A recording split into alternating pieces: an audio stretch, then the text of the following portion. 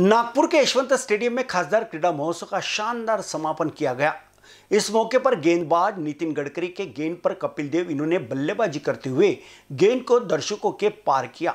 तो वहीं गायक अरमान मलिक ने अपनी जादुई आवाज़ से सबको मंत्रमुग्ध कर दिया।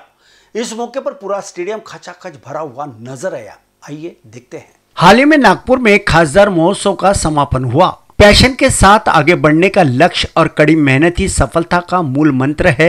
इसका कोई दूसरा विकल्प नहीं है। युवा खिलाड़ियों को पैसे के पीछे नहीं भागना चाहिए। उन्हें पैशन के साथ आगे बढ़ने पर ध्यान केंद्रित करना चाहिए। ऐसा करने से उन्हें सफलता निश्चित तौर पर हासिल होगी।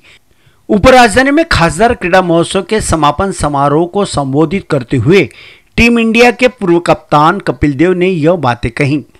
उन्होंने ज़ोर देकर कहा कि इस तरह के कार्यक्रम अगर देश के हर ज़िले में आयोजित किए जाए तो एक दिन भारत ओलंपिक में पदकों का शतक लगा सकता है।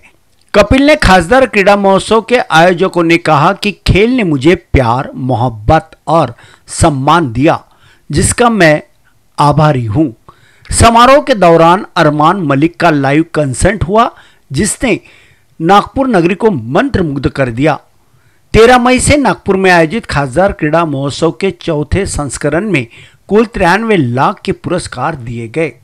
तो वहीं केंद्रीय सड़क परिवहन मंत्री नितिन गडकरी ने खासदार क्रीड़ा महोत्सव के अगले संस्करण के दौरान एक करोड़ से अधिक पुरस्कार राशि देने की घोषणा की। दो साल कोविड में जाने के बाद आयोजित क्रीड़ा महोत्सव को मिली शानदार कामयाबी के लिए उन्होंने सभी का आभार व्यक्त करते हुए कहा कि हमारी कोशिश है कि नागपुर से अच्छे खिलाड़ी निकले। युवाओं को उत्साहित करने के लिए इस प्रकार का मंच प्रदान करना हमारा कर्तव्य है। अगले संस्करण के दौरान दिव्यांगों के लिए अलग से क्रीड़ा महोत्सव आयोजित करने की बात भी इस मौके पर गडकरी ने कही। खासदार महोत्सव समापन कार्यक्रम के लिए बड़ी संख्या में शहर के नागरिक मौजूद थे। नागपुर के यशवंत स्टेडियम से कैमरा पर्सन राजकुमार मोहड़ के साथ संजय मीर बीसीएन न्यूज़ नागपुर।